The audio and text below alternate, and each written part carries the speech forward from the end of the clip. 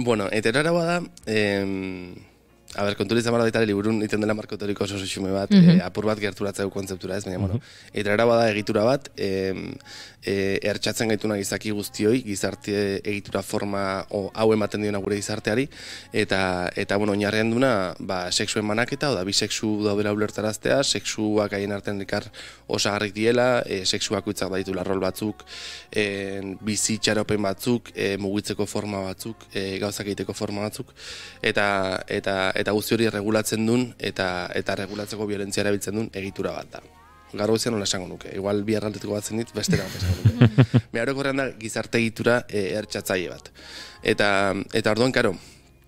e, markatzen da zer den e, izan behar dena e, persona bat, eta zeharreman mota izan behar eta zer ez duen izan behar. Orduan zentzu horretan, karo, en, hetero arauak markatzen bari badu gizonak izan barutela maskulinoak eta heterosexualak eta eta zakildunak izan, eta emakumeak e, aludunak femeninoak eta heterosexualak, hortik ateratzen den oro dago, e, hetero arauaren e, bazterretan kokatzen den oro dago, e, violentzia jasateko leku batean. E, horrek iztu esan nahi, e, gizon zis hetero batek ez du nikan e, e, egitura horren... E, violentzirik nabaritzen, mm hau da, edo, edo emakume zizetero batek berdintzait, en, diot,